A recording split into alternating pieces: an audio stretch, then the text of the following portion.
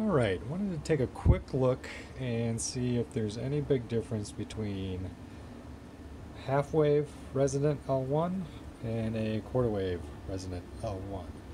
So here I have my half wave uh, coil uh, and that the L2, and I've just switched to a single L2 at this point, the L2 is 50 feet in length.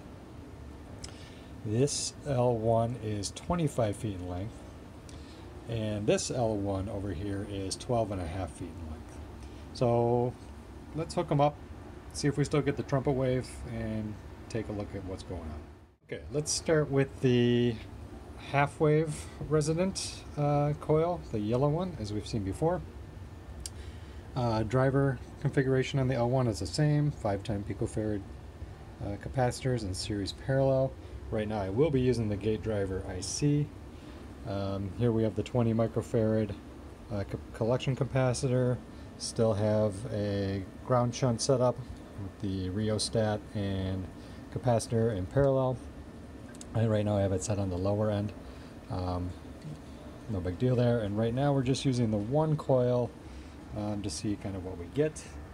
Um, I have the gate driver IC set at 20, 20 volts at the moment. And with this configuration, we'll have to kind of play around with this a little bit, just running at 2.1 megahertz to generally see what we what we get. So let me short out the capacitor, and from a timing perspective,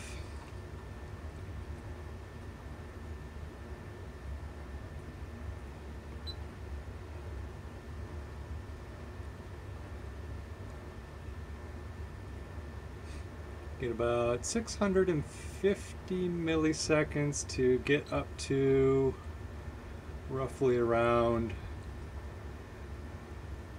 66 volts. And I know I can increase the voltage as we've seen before because this band is still kind of there. If I go up in frequency 22 I can increase the voltage, it's already increased but as we've seen before, the time it takes is a little bit longer. But still seeing the trumpet wave as we would suspect. Okay, now I have the quarter wave resonant coil, so the 12 and a half foot coil, the red one. Still same configuration as before. And, well, it's kind of interesting what I'm seeing. So I, I guess I have the coil right now kind of positioned dead center in the L2 Running at 2.2 megahertz. And if I short it out, you can already see a couple interesting things going on. One, I'm almost seeing that double trumpet wave profile as I was seeing before, which is which is quite weird because I only have one coil connected. It's the voltage is much much higher, um, up at around 100 volts or, or so. And if I come in and I take a look at the timing,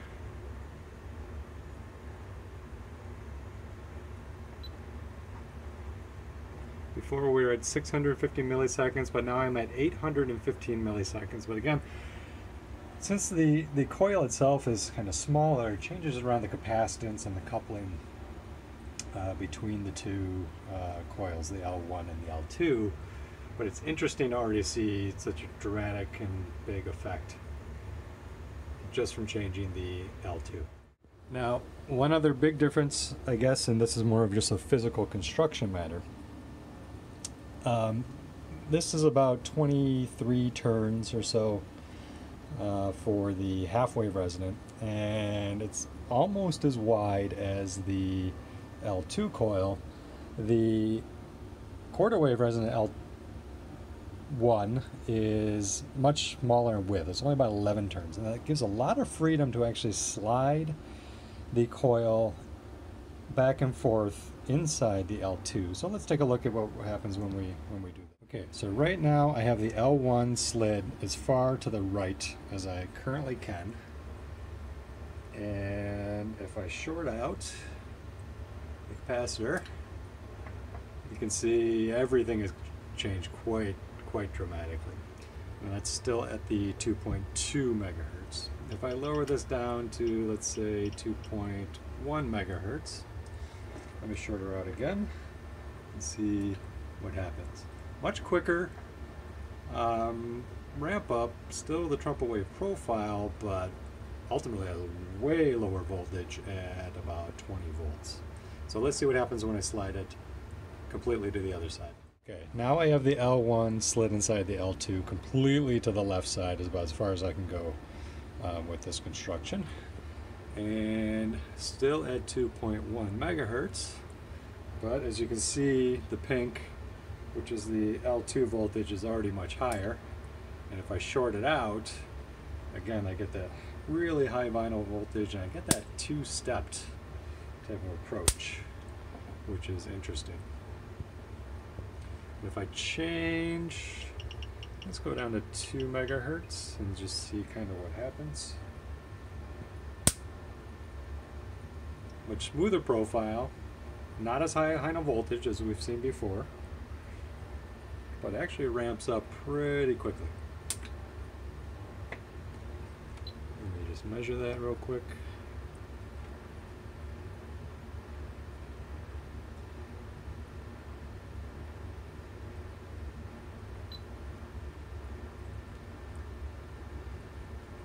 So 465 milliseconds to go up to 85 volts. So actually looks that the quarter wave resonant uh, coil is, as you would expect, providing, let's say, slightly higher final voltage as well as a quicker ramp up, and that could be due to um, the additional current and the lower resistance of the coil itself.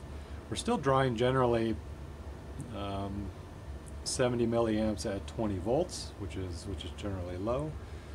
Um, but maybe we go forward with the quarter wave resonant L1 for them. So I think one last thing to mention here, and it's quite nice. I've now centered the L1 roughly again in the middle of the L2. And I think as we move forward with designing the system around here, a couple things we want to keep an eye out for are not only um, let's say the final voltage, but this kind of gap that we see here, or we're calling this the negative resistance region very, very much at the top here, I, I suspect that we want to be able to ramp that up pretty quickly, um, keep it as non-linear as possible, as well as get a large gap so we have more of a working range within that region. And I think that's something we're going to kind of keep in mind as we move forward. Now, again, why with this particular setup are we seeing almost this double trumpet wave thing again? I don't know. I think I'll have to explore that a little bit further. Um, but it might be to the point where we actually decide to lower the collector capacitance. If we can get this very nonlinear region as well as this large, large voltage range um, to work within here. So more to explore, more to learn. You guys have any comments? Uh, always appreciated. Um, but I think here is what we're going to kind of try to take forward as we try to get some useful power out of the system. I'll try to as well keep the power input around here, which if you do the math, that's around 1.6 watts. Um, but if we're able to get anything more than 1.6 watts out of this, I, I think that's quite interesting. So thanks for your time. Appreciate it. Talk to you again soon.